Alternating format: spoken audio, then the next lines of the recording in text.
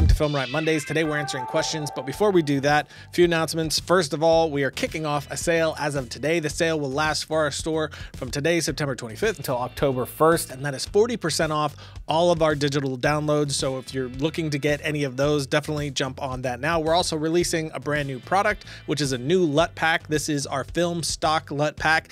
Again, we are basing it off of films, but we're basing it off of the film stock that those specific films used. And there's 29 LUTs in total, like the Argo LUT, Casino Royale, J. Edgar. Then we have a few Kodak LUTs in there, Nightcrawler, uh, Requiem for a Dream, The Good, the Bad, and the Ugly. Just a bunch of really great looks for you to be able to use for your project. And again, we have that in different formats. We have the standard, generic, Panasonic, Arri, Red, Black Magic, Canon C-Line, Sony S, and utility LUTs that'll let you convert as well. So it's a really solid pack. So definitely jump over to our store to check that out and to get on the sale. Then an update for our one minute short film competition. First of all, yes, it's worldwide. I've been asked this a lot, forgot to add it to the announcement, but it is worldwide open to all of you. But now we've also been able to get a one year license to Adobe Creative Cloud for the winner as well. So that's stacked on top of all the other amazing prizes that we have. So definitely jump on that if you haven't. If you need more details, check out last Monday's episode.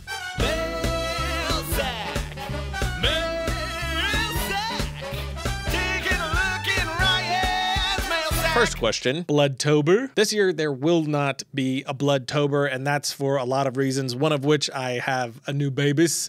By the time you watch this, I will be a father again, so I'll have two babies. So that's kind of putting a wrench into the works, but we're also working on a new short film that we're going to be shooting mid October that is not for Halloween. It'll probably come out in November. Uh, and we have a few other things that we're working on. Plus, I'm working on a few things behind the scenes um, that I can't talk about at the moment because they might never turn into anything, but that's that's taking up a lot of time as well. So with all that combined, there's just no time to be able to pump out a Bloodtober, but that just means we're going to have to make next year's Bloodtober like 10 times better. Would you choose an A-list actor that doesn't fit the role 100%, let's say 60%, or an unknown actor that fits 100%, assuming both fit budget and would love to join the cast? Fitting a role is a funny thing for me. I've cast people that didn't fit the role for the character that I had in my head, but they evolved the character into something else that worked a lot better for the story. But if you're just talking about something that has to work for the story and character, of course that's a thing. And I would go for what fits 100%. Of course, I'm I'm trying to make the best project I possibly can, not you know, just trying to get views. I, I want to make something that can be as great as it possibly can be to give people an experience that I'm trying to give them for them to enjoy. And I would rather 100 people enjoy it 100% than 100,000 people enjoy it 50%. So let's say I've watched the tutorials, built the DIY rigs, assembled a crew of semi volunteer friends, and I've done it. The short film is finished, ready for the whole world. What do I do now? Upload it to YouTube and hope for the best? How can I get the most exposure starting out? Even for people with a following, there is hope for the best involved. We've had some short films that have vastly underperformed compared to other short films, so it's not always a guaranteed thing. Um, but you do need to put in some work still. Once you put it online, you need to, uh, you know, go watch other people's stuff, comment and like on their stuff. Hopefully, they'll come and watch yours. Send it to as many blogs as you possibly can, especially if it's sort of a genre piece like horror. Send it to horror blogs, places that might be interested and want to post it, especially if you have some kind of story or narrative uh, around it. Like, say, proximity, for instance. We had a project that fell through, and then instead of sulking about it, we went out and shot something anyway for only 300 bucks and put that online. That was a story that we could tell blogs, hey, look at what we did, and here's behind the scenes that shows it. And it has something that gives them something to post about. So that's really helpful as well. If there's some sort of narrative you can wrap around the making of it, that will help get attention as well. If you haven't put it out yet, you can also send it to places like Short of the Week that will take a short film and premiere it and help get eyes on it.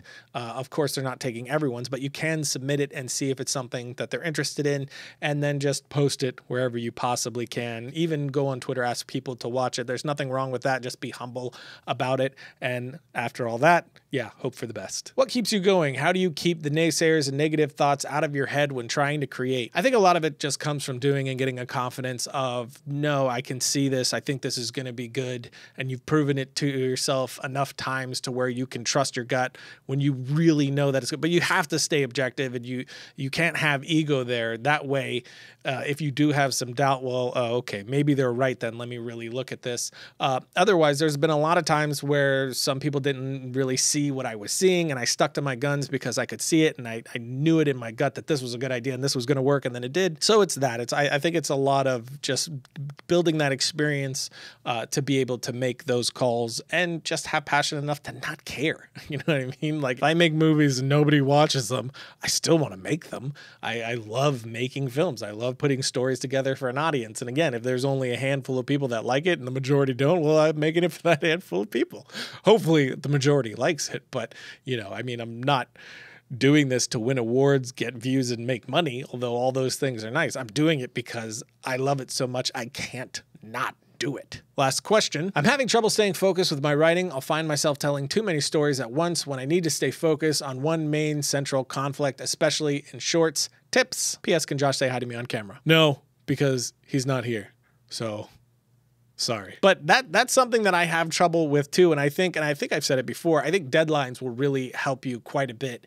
Uh, when you only have a certain period of time, it's very easy to cut out the fat of what you're doing because it's very much like editing uh, in post production. You have to cut the fat out and really get to the central core of what it is you're trying to tell. Figure out what the themes are that you're trying to land on and whose story it is. What is the background? What are you trying to say with all this? And that'll guide everything else. And if what you're trying to add doesn't service that and doesn't have to be there, then just get rid of it. Uh, and when you have deadlines and you don't have time to really pile on the fat. You keep it very lean and you keep moving forward. And then once you have that, then you can go back and see if you do need to add some stuff. That's at least how I've done it, but it is something that I do still struggle with myself. If you're a budding filmmaker, entrepreneur, innovator, domain.com is a place to go when the next idea hits you. When you get a domain name from domain.com, you're taking the first steps for creating a vision and identity for your brand or idea. Of course, .com and .net are the two premier, most recognized domain name extensions, which means those are the ones that are going to help you build your brand and expand your presence online the best. Domain.com is reliable, affordable, and easy to use, and they're giving you 25% off when you use the coupon code FilmRiot at domain.com's checkout when you get web hosting, emails, and domain names. So when you think domain names, think domain.com. Logo. So that's it for today. Don't forget about the sale that's happening right now. Links for that in the notes below. And for what I'm watching or reading in this case is Violent Love. It's a comic book by my friend Frank Barbiere. It's on issue number eight. You can find out more info on that below as well. So definitely check that out. I'm really digging it. Until next time, don't forget to write, shoot, edit, repeat.